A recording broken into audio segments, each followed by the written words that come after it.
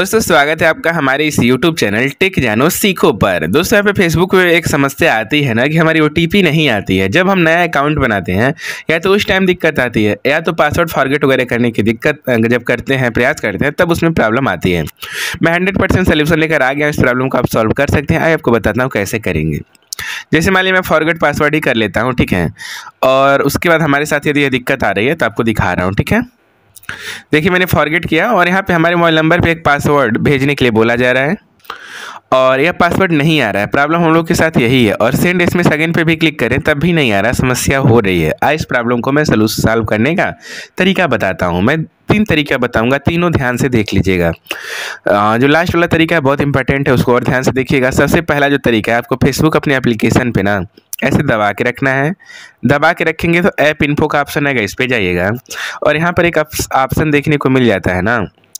Permission का app permission का आपको इसी पर क्लिक करना है और देख लेना कॉन्टैक्ट अलाउ है ना कॉन्टैक्ट अलाउ रहना चाहिए और टेलीफोन भी अलाउ रहना चाहिए, ठीक है? और एक ऑप्शन और यहाँ पे देख लीजिएगा मतलब सारा कुछ मतलब दो तो इम्पोर्टेंट है अलाउ रहना ही चाहिए। बकिया रहे या ना रहे, लेकिन ये दो रहना चाहिए। फिर आपको अपने मैसेज जिसमें आता है मैसेज वाली एप्लीकेशन पर ऐसे दबा के रखना है। ऐप इन्फो पे जाना है। और यहाँ पे भी ऐप परमिशन में जाके आपको चेक कर लेना है कि एसमेस वाला परमिशन अलाउ है ना? एसमेस वाला परमिशन और कॉन्टैक्ट वाला परमिशन अलाउ होना चाहिए, ठीक है?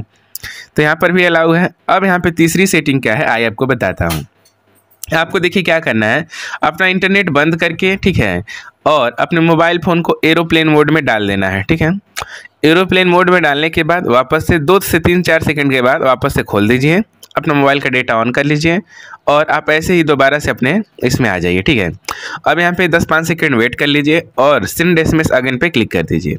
जैसे सेंड एस एम अगेन पे क्लिक करते हैं तो आपकी O T P hundred percent आने की पूरी उम्मीद रहती है। अभी देखिए मैं वेट कर रहा हूँ, हमारी ओ टी पी अभी आ जाएगी।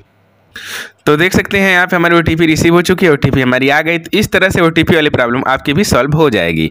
हम उम्मीद करते हैं, वीडियो आपको बहुत अच्छी लगी होगी। वीडियो अच्छी लगी हो तो सपोर्ट करिएगा। वीडियो को लाइक हम चैनल को सब्सक्राइब हम मिलेंगे किसी नए वीडियो में नए अपडेट के साथ। तब तक के लिए दोस्तों, आप लोग अपना ख्याल रखिएगा। बाय बाय दोस्त।